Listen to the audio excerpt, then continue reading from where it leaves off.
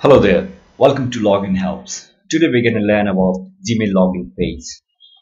Uh, Gmail is the free webmail service provided by the Google. Having a Gmail account is like uh, having a Google account, so you'd be able to use more of its services like YouTube, Android, AdWords, and many more. So in order to log in, you have to be familiar with the login screen. So open your web browser and on the new tab, type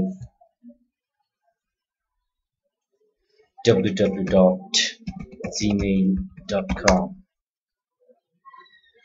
you can see the home page on the middle here is the slide of moving pictures.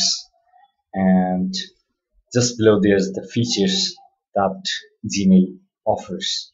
Like you can use gmail on any kind of device like whether it be ios android or blackberry and there are other custom features like uh, you can also use Gmail for your work environment like office. And you can also find a lot of storage where you can put some of your document on the cloud as well.